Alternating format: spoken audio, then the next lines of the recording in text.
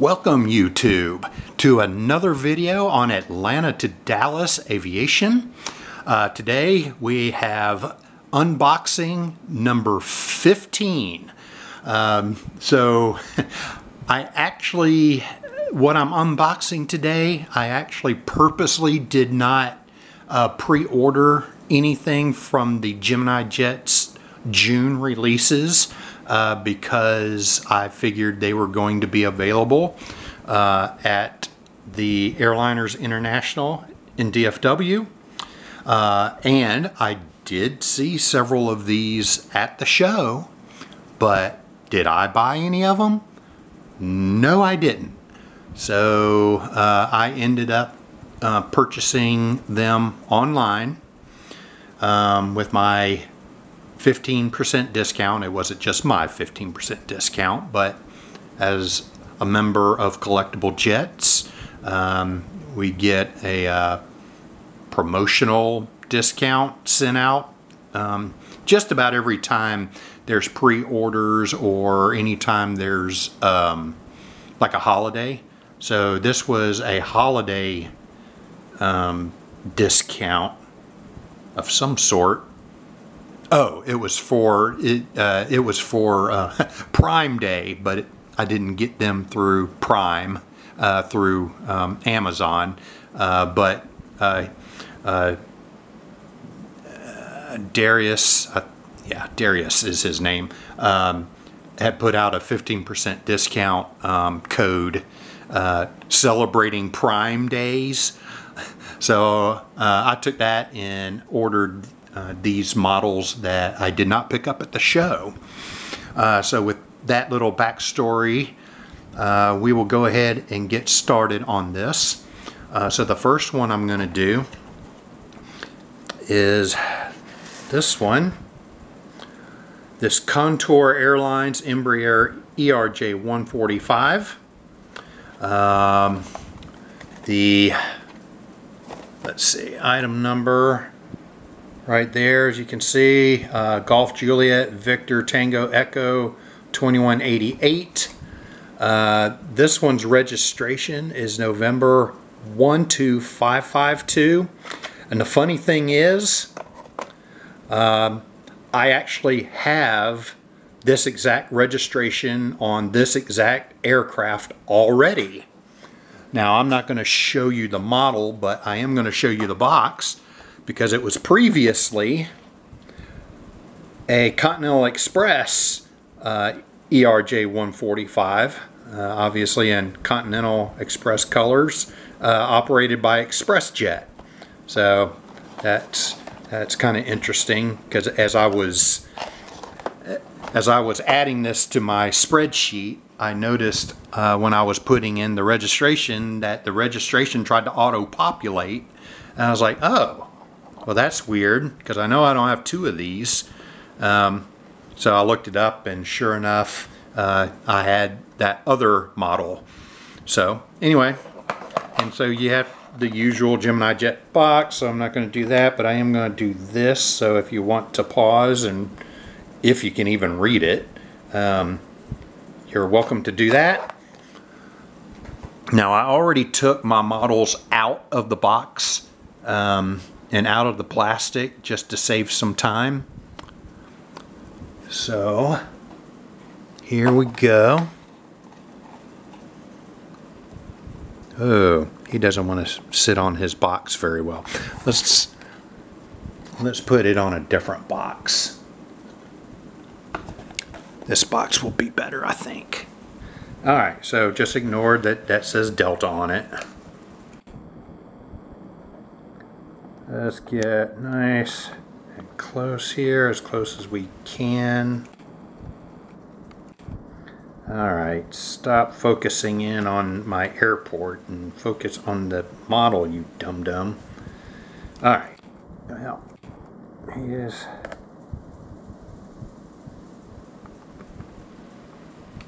Alright, maybe that'll help. Ah, there we go. Alright.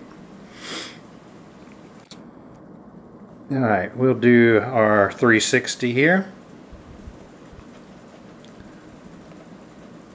Nice ERJ 145 in contour, which uh, operates similar to uh, JSX. I'm not going to go into how uh, that happens, but uh, so the pilots for um, Contour and like JSX, they don't, um, A, they don't require the minimum uh, amount for the usual uh, Part 121 uh, operators. Um, there's there's kind of a loophole that um, these companies use to be able to uh, not have a pilot shortage, if you will. Um, I believe part of that loophole also is that uh, pilots who have to retire from uh, the big boys uh, can come back and fly like uh, private jets and things like that. Um, if I understand correctly.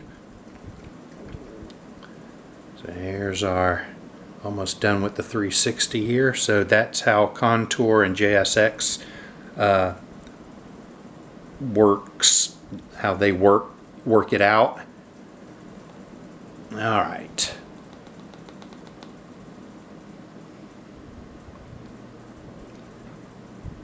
Now we'll do our close-up.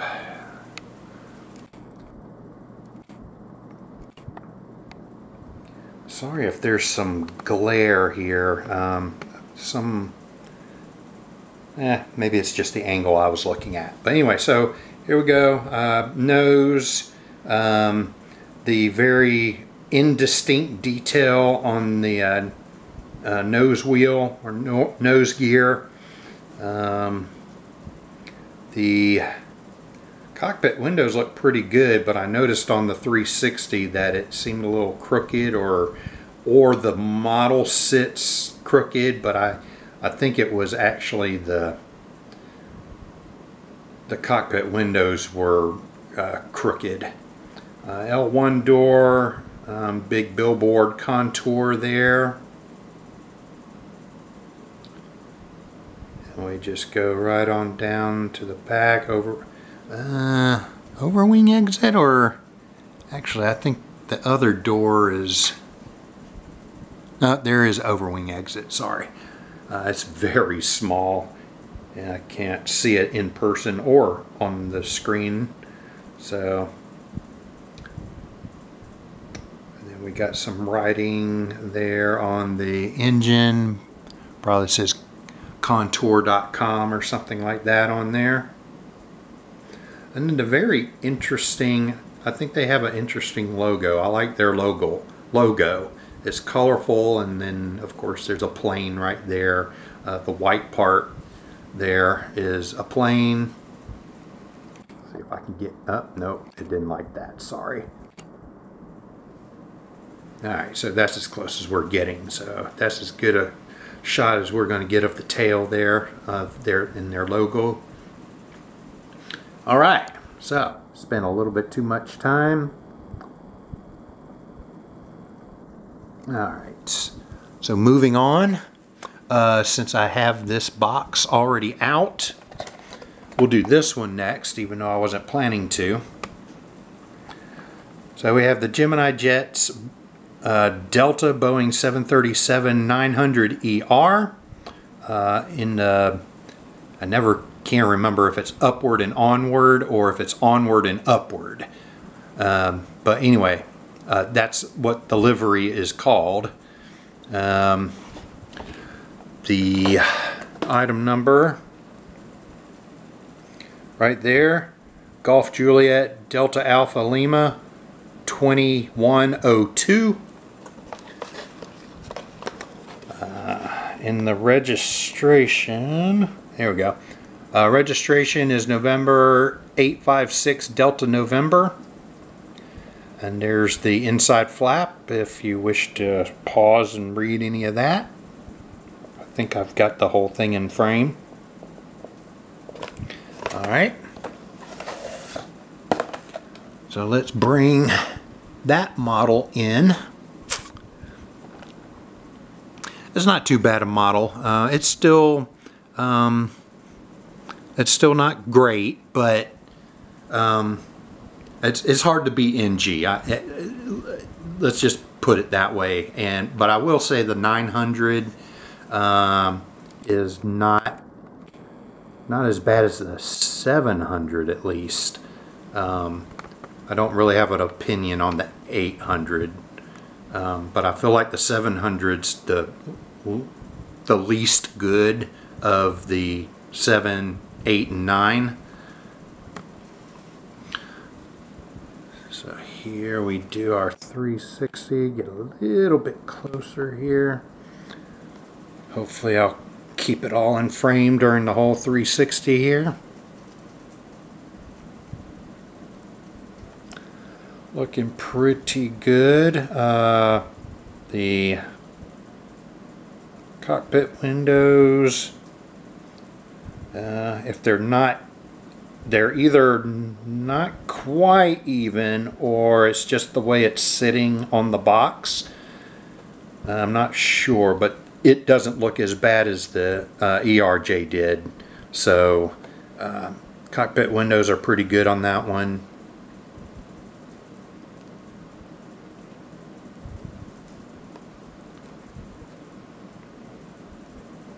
I kind of wish Delta did the billboard titles and maybe and maybe like put the their widget uh, in the space in be, uh, in between the L1 or R1 and cockpit windows. I think that would be would have been kind of cool, and you could actually read Delta on it.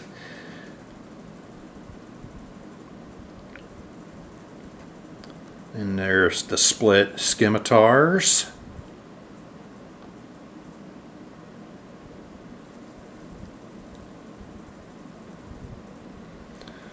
Looking pretty good. I'm glad I picked this up. I the big thing that I collect is basically Delta and uh, Southwest. And the funny thing is, before I worked for Southwest, I hardly collected it at all.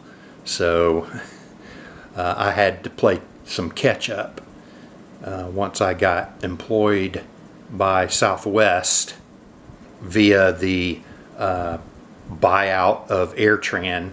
I don't really call it a merger. They bought us out. There, um, I mean, I guess there has to be some sort of agreement. You can't just buy someone out, but uh, I, I think it was basically a buyout.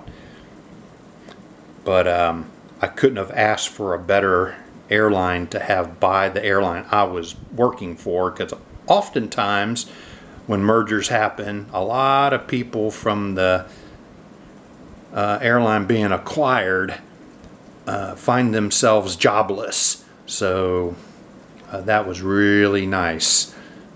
And it was nice that uh, Gary Kelly at the time put it out there, said, uh, if you stay at the job you're doing, uh, you're guaranteed a job at Southwest. So it was nice to have uh, that off the plate going into the merger. Oops. Wow, come on. There you go. Alright, so let's get a a look at this. Um, I, a pretty well-shaped nose. Uh, I kind of looked at it from the top. I probably won't do that on the video, but kind of looked at it from the top. Um, I can't remember who was talking about it, but um, another YouTuber was talking about the shape of the nose and how kind of this side part on both sides kind of goes flat a little bit. Uh, and it this looks like uh, they did a pretty good job with uh, the nose on here. Um, so, and maybe that's just because it's a 900 mold and not one of the other ones. Um, the nose gear looks pretty good. The nose gear door might be a tad too big, but I feel like uh, Gemini on the 800s and 900s uh, do a better job on the nose gear uh, doors than they do on the 700. And you got the Delta titles there above the uh, passenger window line. Moving on back, uh, Wi-Fi dome there, um, antenna uh, right there in the middle. CFM 56 engines. Split scimitars. An another another Wi-Fi box, I believe. And then uh, another antenna there before we go into the vertical stabilizer. And that does not look like it's in focus to me. Let's zoom out a little bit. Let's see if we can get that to fix. No, that still doesn't look focused to me.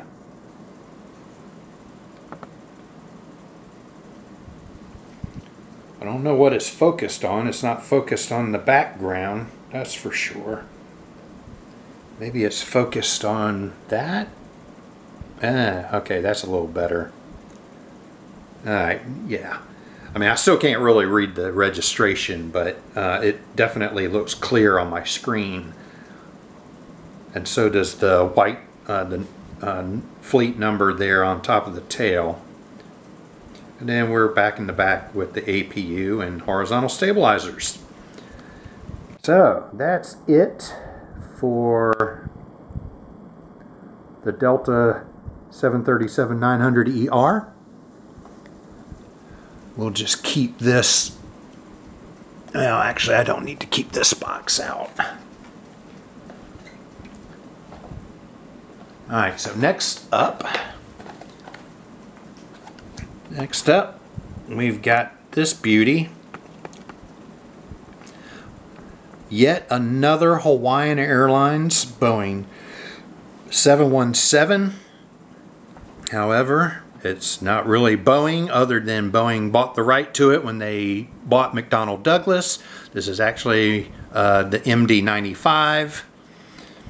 And so this box, it's a little bit, little bit different. Um, it's sort of like the Southwest box, except the Southwest box doesn't have the flap on it, but it's also white. But anyway, so here's the item number. This is uh, Golf Juliet Hotel Alpha Lima 2183. The inside flap here. All right. You can pause that if you want to read some of that. Uh, this aircraft's registration is November 49er1 Hotel Alpha and I, I don't remember. I've got I, this. I think this is my fourth Hawaiian 717, um, and they're all different registrations, and one of them's even the older version of this livery that doesn't have the lay, uh, the that silver lay across the fuselage. Uh, and that one was a Dragon Wings, but they all have different reg numbers. So I have four, for sure four um, of these. Now I have more uh, AirTran ones than any, but my AirTran one, uh, I have three special liveries and then I have um, the regular, the last livery they had. I have a regular livery and, but it's all the same reg number. So I, I bought a whole bunch of those uh, when we were getting bought out because I knew it was going to be far and few between uh, for Gemini to put out any more AirTran uh, 717s. So um, I bought, gosh, I don't know, I got four or five of them actually. All right. I think this will do. Do our 360 here. Sorry, I'm going to move a little bit faster uh, through this uh, because I still got one more to do and I definitely don't want this to be a part one and part two. Yeah, this must be how just how it how it's sitting. Because that even looks a little bit crooked on the cockpit windows, but I think that might just be how it's sitting on the box. And I should have turned this box over to do this 360. Anyway, such a, a really, I love the Hawaiian livery, especially on the tail. I'm not super excited about that silver lay across the fuselage, but um, I love how they kind of updated um, the I don't even know. The girl has a name, but I don't remember what it is, and I probably couldn't pronounce it even if I did. Um, and I don't know if she's necessarily a hula girl or if she's just a regular old uh, Hawaiian native type girl. um, but anyway, but they updated the flowers and stuff a little bit uh, in that part of the livery um, like in 2015 or so. And also, I think the uh, all the planes have names, um, and I believe this one was a really long name. So again, I'm not going to try to pronounce it because I would truly butcher it. Ah, dang it. Got greedy there. There we go. All right, so uh, you got the nice um, 717 nose, um, cockpit windows with with the eyebrow window, L1 door, um, some I'm not sure what that says next to the L1 door. Hawaiian titles, nice and big like Delta should do. Uh, and then we start into the, oh, well, actually the lay starts actually right above the W, if you can see that. And then it crisscrosses uh, throughout the fuselage until it turns uh, into color back here uh, near the back.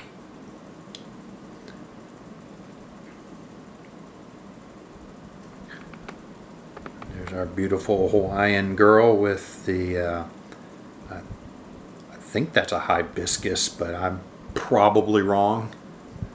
Uh, but flower in her hair. So that looks great. All right, so let's move on to the last one.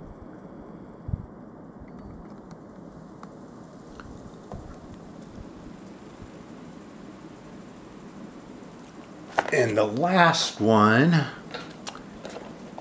is Atlas Air 767-300ER passenger version. All right. Uh, and this one's item number right there. Uh, Golf Juliet, Golf Tango India 2166. Yeah, here's the inside flap. And this one's registration is November 649er Golf Tango. And let's go ahead and bring this in. Um, I will have to say I am going to have to repair mine.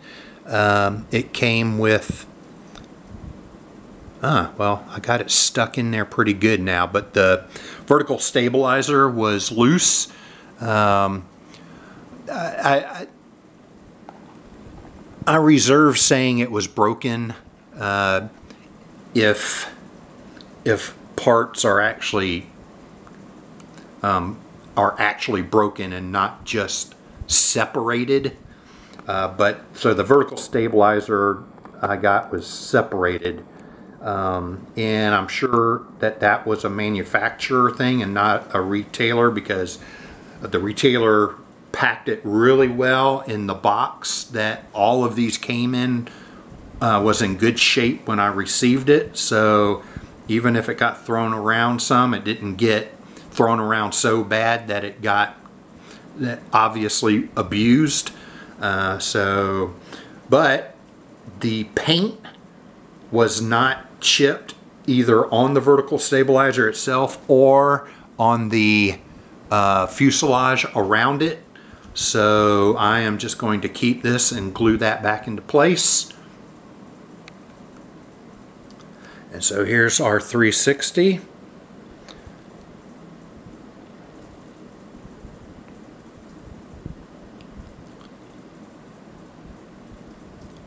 Think I have uh, I think I have um, Atlas Air 747-8 freighter?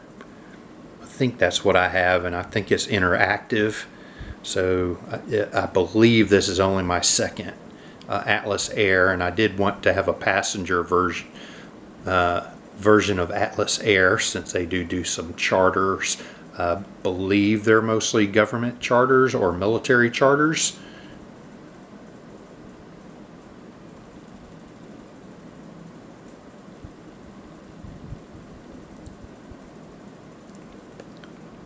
But this is a very nice uh, I don't know I, I, really love Atlas holding up the globe. I, I think that's kind of a neat um, livery in the 767 300 it'd be nice to have an updated mold from someone um, but this one is pretty good um, and I think Phoenix even has a pretty good one although I am not particularly worried unless the mold just looks horrible. Um, so I'm not really, um, I hardly ever scrutinize molds. But I will point out quality uh, control problems So probably that vertical stabilizer was probably a QC problem. So I pointed it out. But I'm going to fix it since it didn't seem to hurt any other, uh, the paint or anything. So, all right, so here we have the nose, pretty well shaped nose. Um, the cockpit windows seem to be on straight. Um, got the nose gear there uh, looking pretty good.